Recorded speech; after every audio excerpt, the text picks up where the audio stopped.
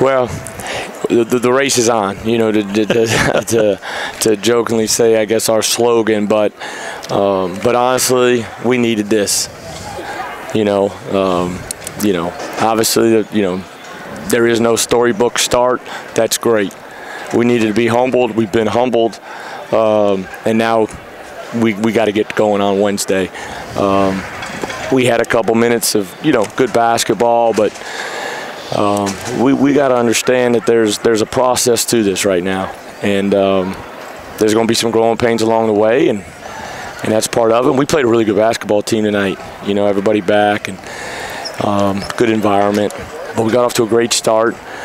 But you know, poor execution on offense gave them a quick opportunity to get back in the game. Saw a lot of pressure from St. Louis, but only 10 turnovers. I thought you took care of the ball really well tonight. Yeah, thankfully, because uh, you know, you know, poor execution and then transition defense. You know, I think the biggest thing is, man, is we, we talked, we really worked on defensively, uh, but we didn't do a good job with Yuri Collins. You know, 14 assists, no turnovers. We were passive in our ball screens. Uh, we weren't up to the point on ball screens. You know, hedging. Uh, you know, we got our tails kicked. We needed it. We got it, and we, now now it's time to get going. Coach, you got 12 new players. Uh, very few of them have played at, at, at this level, yep. um, and, and especially in this type of environment. And, and overall, I know you're not pleased with the score, but there were stretches in the game yep. that I was very encouraged with in this team, that three or four minute stretches in each half where, where, where you fought on both ends of the floor. Yeah, we did, and that's what I said, but you can't come up here and play good for 15 minutes right. and expect to win. Uh, you know, if the other 25 minutes, it's it's transition. You know, it's transition threes, it's second chance opportunities, it's missed box outs. Um, you know, we got off to a good start. You know, we did cut it to 11, but then it's you know missed box out, transition three, transition three. Uh, you know, we tried to go a lot five out in the second half, bring Okoro away from the basket and spread them out. That worked for us for a little bit, but um, we weren't good enough tonight. Um, we got exposed and you know physically that, that they're a physical physical. Yeah. I mean they're a good-looking team, physical team. They did a great job. Uh, like I said, we needed this. Um, we we've got some pieces. There's no question. I told them that in the locker. We've got some pieces, but we need to put the pieces together.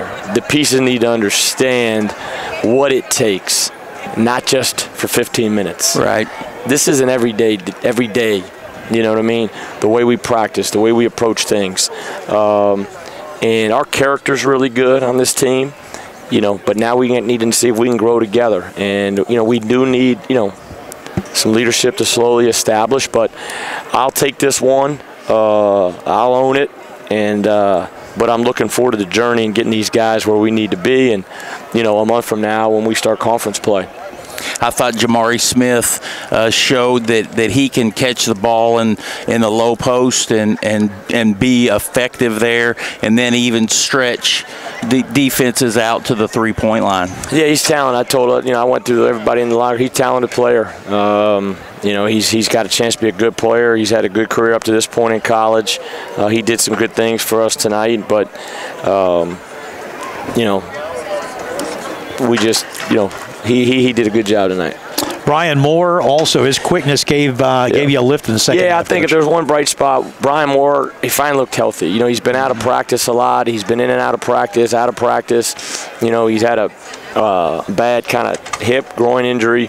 Uh, we got him back. Uh, I think that's the one bright spot I'll take from tonight is, you know, I know Brian can help us, and Brian's got a little. We, we need a little a guy that'll say some stuff, and uh, you know, hopefully he'll emerge and start start taking that role a little bit. Have Lindsey Wilson on Saturday. I know a lot of work to do between now and then, but a lot of film, I guess, right?